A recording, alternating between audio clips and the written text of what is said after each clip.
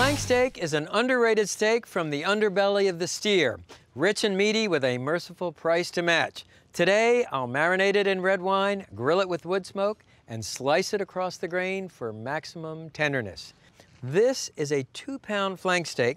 Your first step is to trim off some of this excess fat.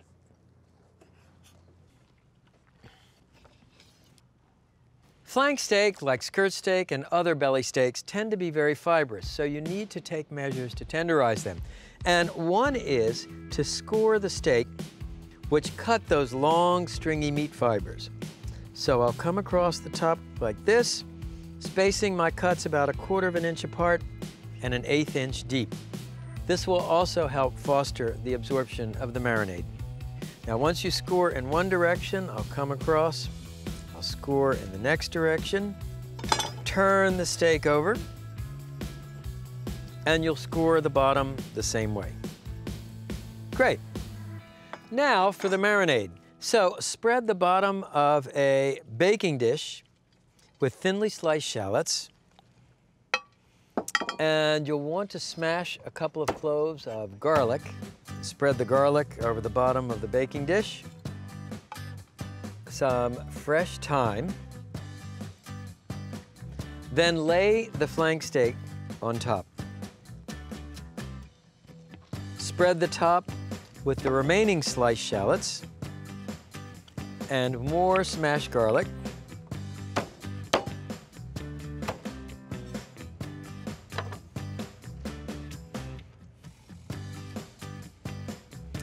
and arrange the remaining thyme on top. Now, drizzle the flank steak with extra virgin olive oil and cover it with wine. I'm using a Pinot Noir from right here in the Santa Ynez Valley. Cover the flank steak with plastic wrap and marinate it in the refrigerator for at least four hours or as long as overnight.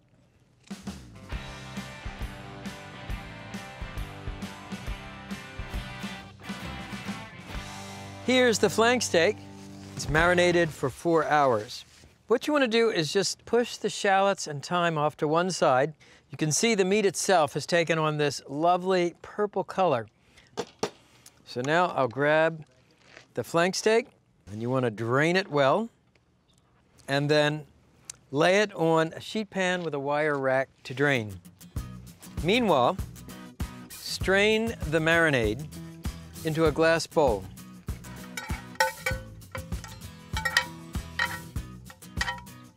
And I'll just pull out these thyme stalks. Now for the sauce. Add one tablespoon of butter.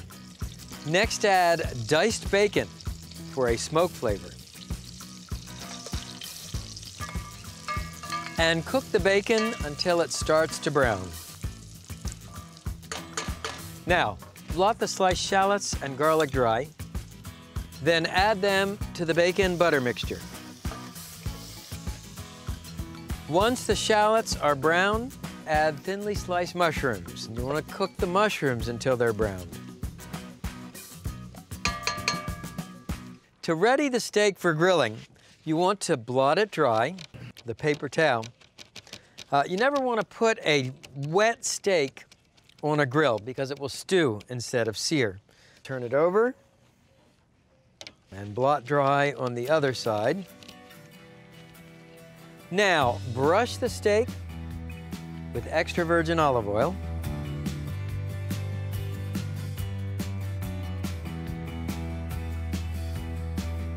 and season with coarse salt and add freshly ground black pepper. Now we'll turn the flank steak over and we'll oil and season the other side the same way. Now you're ready for grilling. To grill the flank steak, I'm using a pit barrel cooker, and this is a Pit Barrel Junior. It's fueled with charcoal and I added wood chunks to generate a smoke flavor. And the cool thing about the smoker, you actually grill the steak covered to hold in the smoke and heat. Meanwhile, I'll finish the sauce. Now, once the mushrooms are browned, add the reserved wine from the marinade. I'm gonna bring this mixture to a boil, scraping the bottom of the pan to release all those caramelized shallot and mushroom juices. Once you've reduced the wine and concentrated the flavor, dissolve a little cornstarch in about a tablespoon of water. And you just wanna stir this mixture. I'll use this to help thicken up the sauce. Go. And last of all, a couple more tablespoons of butter. And of course, a generous pinch of salt and freshly ground black pepper. All right, we'll just whisk this to incorporate the butter.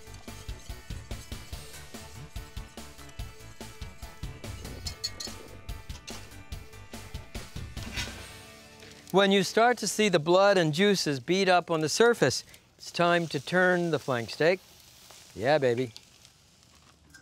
I'll just recover the grill.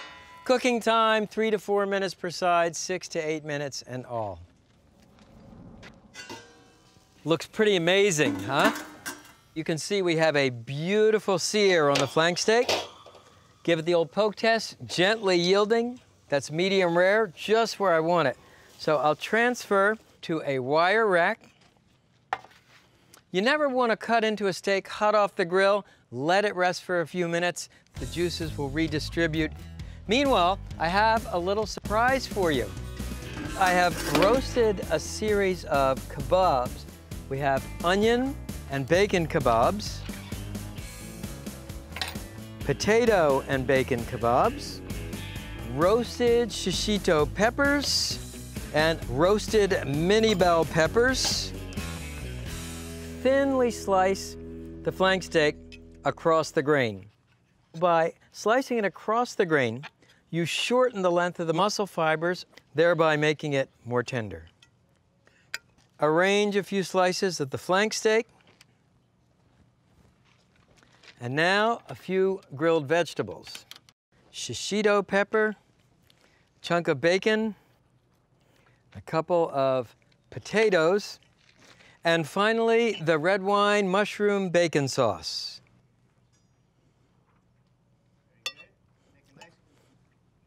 And some chopped fresh chives. And there's your wine marinated flank steak. I'll just cut a taste here. Mm. That steak is crusty and smoky on the outside, tender and rare inside. I'm loving this mushroom bacon sauce. In fact, there's just one thing missing, a glass of Pinot Noir.